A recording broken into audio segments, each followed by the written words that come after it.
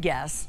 And for all of those wonderful spring celebrations coming up, it's a great time to try something new to feed a crowd. How about a grazing board with a, a, twist or two? Megan Ruffles has a food and entertaining blog with innovative ideas, and Miss Megan's here today in her spring finery to, uh, to get us ready for this. This is such a pretty, like um, a colorful, festive way to go. Yeah, and I always feel like this time of year, people are starting to think about the holidays that are in the springtime. We've there are a lot of springtime holidays. Mm -hmm. um, so currently, right now, we have Easter this weekend, and then if you're watching on a re-air, we have all the May stuff. Yep. Mother's, Mother's Day, Day Memorial yes, Day. Yes, all the graduation parties. Yep. And th is there anything more colorful than putting out a fruit board? Exactly. Yeah. So I always find that the key to creating a beautiful board is variety. So you want to have a variety of colors, you want to have a variety of food items, mm -hmm. and you can create this by simply cutting your fruits, your veggies, your meats and cheeses, whatever it is, into different ways. So okay. I've got an example here. These kiwi mm -hmm. Look, pieces. Like, it looks like Those are so popular right now. So an easy, easy, to do? So easy. So okay. all you have to do is take your kiwi, take your knife, and you're really just going to cut a zigzag pattern into it, just like that. So once you go all the way around. If you're not good with knives, do not hurt yourself. No. So, and then it comes right apart. So show me again. We're, we're going to get a shot of this. So, so, so, put it right there. There you so go. So we're going to pretend this is. So you cut it open like an Easter so, egg yeah, zigzag. Exactly. Oh, cool. So you cut that open. You've got your kiwi, and this just kind of creates something different. Different, it does. Different texture to add still, to your board. Still supposed to eat this though, right? Go for it, Paula. Well, I mean, I didn't, I didn't mean me right now. But sometimes when you make things real decorative, people wonder if they're supposed to eat it. Yep. Yep, and an easy way to do that is just grab the kiwi and eat it with a spoon. So okay. you don't have to peel it or do anything fancy. If you're not familiar with blood oranges, look how nice they look because that color just again the color it pops. it pops yeah so and, I like how you did the different cuts and then you kind of stacked them and layered them in there mm -hmm. yeah you want to try and create a, like that texture look to it so mm -hmm. you've got bunches of strawberries you've got your slices of orange you can do big hunks of fruit the kiwi and then the other thing you can do is create uh, a rose with your citrus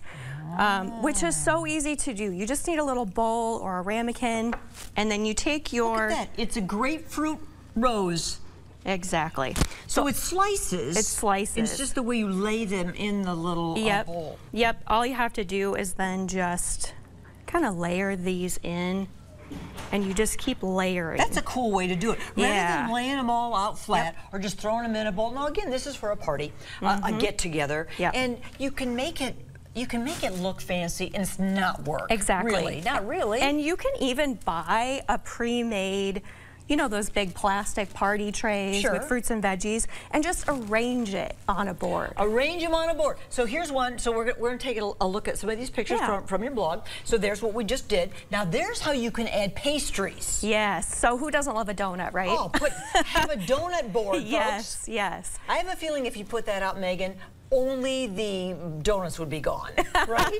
well, maybe. maybe, right? Depending on who your guests are. Yeah. Um, so a previous previous picture there, we saw uh, some some veggies and dip as well. Yeah. So another idea you can do would be a salad board. So basically, you put all the toppings that you're going to have on your salad, and then just serve that salad board alongside your leafy greens and salad dressing, salad and then kind of build your it. own. Like yeah. this? Yes. So so the point is, so you have your um so you're going to serve a salad. So you have your big bowl of greens, mm -hmm. whether mm-hmm. whatever kind you do, just yep. green, green.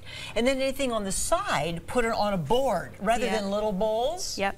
So this is great for like people with food allergies or just even picky eaters. Little ones really like this because they can kind of build their own yeah. and make it special. Get so. all those dirty fingers in those bowls.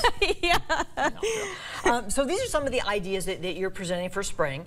And um, so your blog and your, you call it mainly a blog? Yeah, or, yeah. yeah. How's it going for you? Good. It's going good. Is it? Yeah. I, I love the ideas you have in there. They're very simple um, things that look fancy, but that we can all do in our own homes. I really try to stick to everyday items and just do something a little bit different to make it a little fancy, a little something extra, something special. So you're going to be back at the end of the show, yeah. and we're going to talk about some some easy kind of centerpieces to do. Mm -hmm. They just like kind of dress up the, yes. the, look, especially for spring. We're so ready for all the bright colors. Yep, and Love bridal it. showers, baby showers. Yes. We've got a lot ahead of us. On Facebook, she is the Chic(ish) Chick And uh, boy, you've been doing that for a while now, Megan. I think your stuff is really cool. Thank and you. Uh, look, you got your fall stuff out there for Yeah. that. And, well, you know. Time to it- update my photo. I know. Well, you know, it's, it's for all seasons. Yeah. Megan is a, a gal for all seasons. Yeah. All right, we'll see you later. Thank you. Uh, when we come back.